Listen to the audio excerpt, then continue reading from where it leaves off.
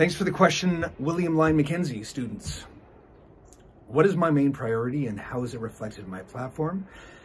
My main priorities are safety, affordability, and livability, meaning the services that we all rely on every day from our city. So the main priority needs to be our budget. Our budget is in dire straits.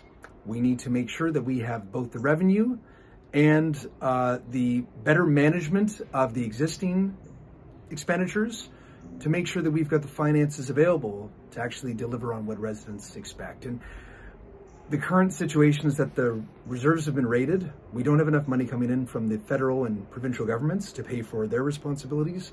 And our tax rate has been suppressed at an artificially low rate. So I'm going to be upfront with Torontonians on what we need to do. And if you visit votematlow.ca, you can read my platform. And what you'll see is that it's the only platform that not only has commitments on how to do all these things, but is costed. And then I tell you exactly how I'm going to pay for everything so that I'm not just making promises during an election, but I show you how I'm going to get it done as your mayor.